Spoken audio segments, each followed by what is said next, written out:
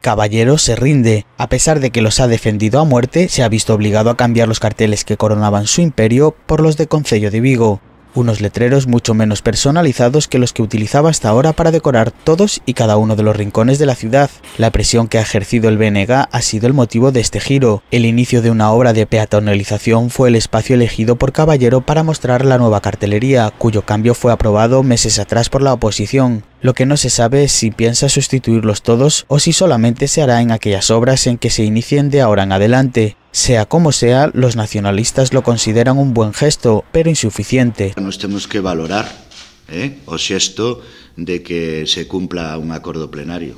Temos que valoralo porque nos eh, dixemos dentro do Grupo Municipal do BNG que unha condición para nós eh, sin a cual non eh, lóxicamente era que en este Concello se restaura a democracia, pero que evidentemente eh, hai eh, toda un cumplimento de acordos aos que nós evidentemente non vamos a deixar de reclamar, porque a democracia non se restaura hoxe e mañan non. Y es que, además de este cambio, la oposición también exigió el regreso de la gestión del centro cívico de Teis a los vecinos, entre otros, para sentarse a negociar los presupuestos. Os problemas que ten esta cidade son máis importantes que un cartel, e por eso nos creemos que primeiro hai que restaurar a democracia para que o BNG se poda sentar e canto antes millor, creemos, para que esta cidade teña uns orzamentos que respondan tamén a varias das condicións que nos vamos a poñer se si ao final se chega a esa negociación. Respondan a unha política de creación de emprego, a unha política de protección social fundamental e a unha política de promoción económica.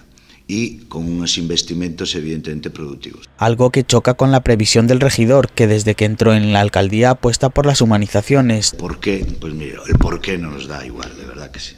Sobre las razones aducidas por el alcalde Abel Caballero para el cambio de los carteles de alcaldía, de que se trata de una cuestión de política informativa.